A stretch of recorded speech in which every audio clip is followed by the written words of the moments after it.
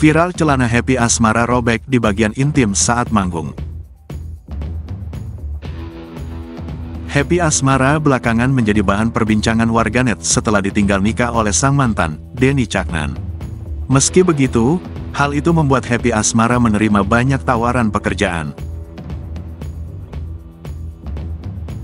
Walau telah lama menyanyi di atas panggung, tetapi insiden tak terduga tetap dapat terjadi.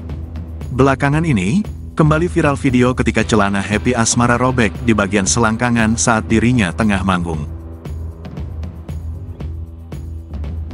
Hal itu terlihat dalam video yang dibagikan oleh akun TikTok @yudaekchin, di mana Happy Asmara sedang manggung di acara penyambutan mahasiswa baru di salah satu universitas di Surabaya.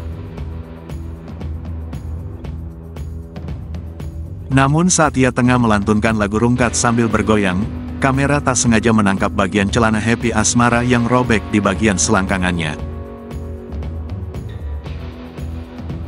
Untungnya, Happy Asmara masih mengenakan celana rangkap di balik celana yang dikenakannya.